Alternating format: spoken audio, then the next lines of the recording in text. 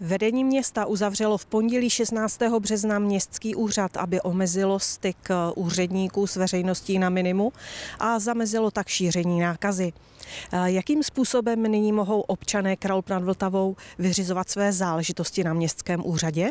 tak městský úřad je oficiálně pro veřejnost uzavřen, ale je uzavřen tak, aby lidé nevstupovali do budovy. Jinak ve všichni zaměstnanci úřadu pracují v běžném režimu. Je možno vyřizovat veškeré žádosti elektronickou formou, to znamená stahování formulářů na webových stránkách města, posílání formou e-mailu nebo posílání formou datovou datové schránky a úředníci dále toto vyřizují. V úřední dny, pondělí a středa budou vyřizovat i ostatní žádosti způsobem tím, že pokud někdo má již vyhotoven občanský průkaz, řidičský průkaz nebo další doklad na eh, městském úřadě, přijde sem, na dveřích vysí telefonní seznam jednotlivých úředníků, vyvolá si konkrétního úředníka, on to s ním vyřídí a zařídí. Takže normálně fungujeme, akorát je ten režim omezen v tom, aby lidé nevstupovali do budovy. Hlavní důvodem bylo to, abychom uchránili obyvatele před vlastně slučováním se dohromady a přenášením jakýkoliv nemocí, nejenom koronaviru, ale jakýkoliv nemocí v této době, protože třeba ve středu poslední úřední den, kdy bylo otevřeno, se nám zde sešlo více jak 150 lidí naraz a byli tady i rodiče s dětmi, které nemohli chodit do škol a doopravdy to nebezpečí bylo veliké.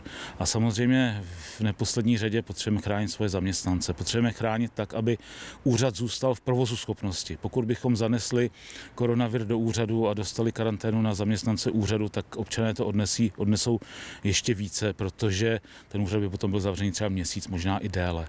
Takže prosím o pochopení tohoto, prosím o schojivost, uvidíme, jak se to bude vyvíjet příští týden podle rozhodnutí nařízení vlády a podle toho se budeme chovat i my. Na doporučení by každý měl nosit roušku. Jsou někde k sehnání v Kralupech nad Vltavou? Tak eh, můžu říct, že se nám po velkém úsilí podařilo sehnat první dodávku roušek.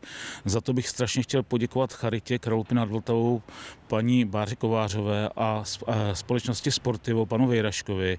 Budeme mít do čtvrtka dodáno prvních tisíc kusů. Tyto kusy eh, budou předány na pečovatelskou službu města Kralupy nad Vltavou, která je bude rozvážet a rozdávat všem seniorům ve městě zdarma. Eh, dáme všem ubytovaným seniorům v DPSkách a samozřejmě dáme všem, kam zavážíme obědy, jídlo, nákupy, léky, o všechny, o které se pečovatelská služba stará. Takže tím zabezpečíme v té první várce eh, seniory města. Potom budeme nabírat další várku roušek a eh, mám, začínáme objednávat i respirátory, které by měly dojít začátkem příštího týdne a ty budou pro složky městského úřadu jako městská policie, hasiči, lékárníci, doktoři. Budeme poskytovat všem těmto složkám, aby zůstaly zachovány jejich provozy pro všechny občany. Eh, pokud bude dostatečné množství, tak samozřejmě bude možné zakoupit je i na městském úřadě.